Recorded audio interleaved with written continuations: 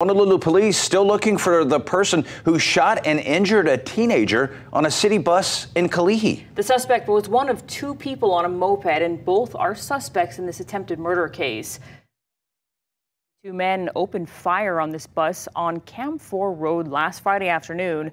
Sources close to the investigation say a passenger on the moped got off and went up to the bus that was stopped and shot through the back door that was open. The bullet hit a 16 year old boy, then hit the window. The alleged gunman and another person took off on a moped. If you have any information on this shooting, you're asked to call police.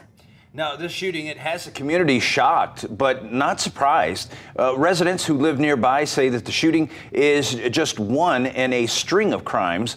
Plus, a lawmaker identifies the victim. Our Kristen Concilio has our top story at 6. We now know the victim, Rvson Victor, was riding the bus home to Kam IV Housing.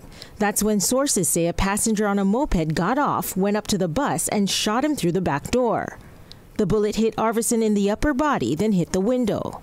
It missed major organs, and gratefully, it didn't kill him or paralyze him.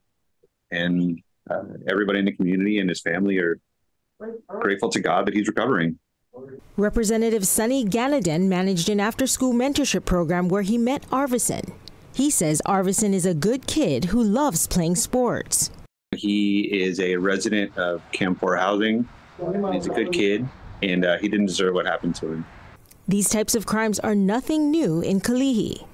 The cops is always around here. They they do what they can, but you know, when the cops uh, go go home, they, they come out and play.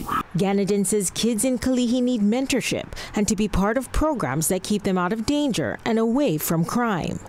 The kids of Kalihi, they're not all bad, um, and that unfortunately, uh, the prevalence of guns and their overuse in our community is um, rearing its ugly face in Kalihi.